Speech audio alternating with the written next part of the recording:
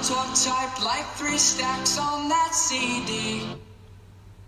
An example of the perfect candidate now. All your girlfriends say that you don't want to see me. You're the reason that I just can't concentrate.